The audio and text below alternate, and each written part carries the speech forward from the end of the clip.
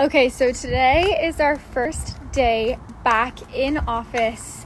Uh, since we went on the RV trip, it has been so long. It has been like almost a month.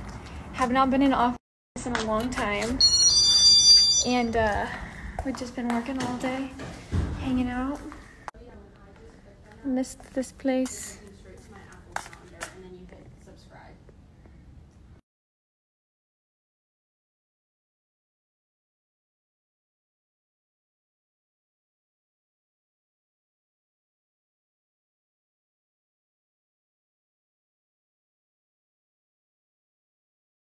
Oh my gosh, you guys. Okay, I have driven to all 48 states and I've gone Starbucks at every single one of them.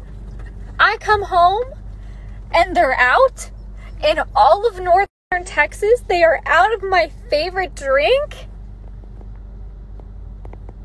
Is anyone else dealing with this problem? I mean, I know supply chain sucks right now, but I literally just traveled all 48 states and the only place they don't have it freaking Texas? The only place I freaking live? Bro, what am I gonna do? What am I gonna do?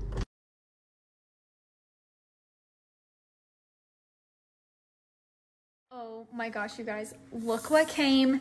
And yes, I did get permission from Brooklyn to show this. So I'm about to show you guys. I'm so invitation.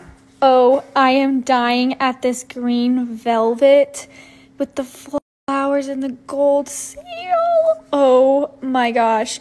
And there's this super cute card on the inside.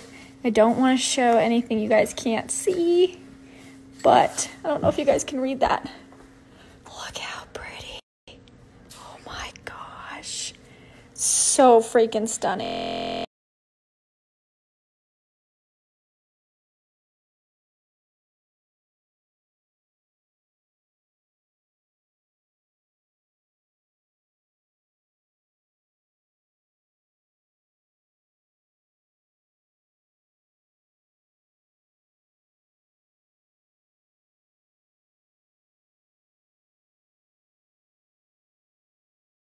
Okay, you guys, today has been absolutely insane.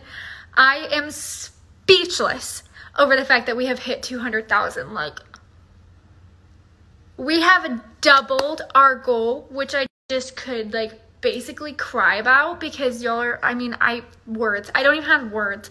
Y'all are incredible. This whole thing was incredible. We have been able to donate 2 million period products because of you guys, maybe even over 2 million and that's just blowing my mind. So number one, that's insane. Number two, today was the last video for the RV trip, which is just crazy.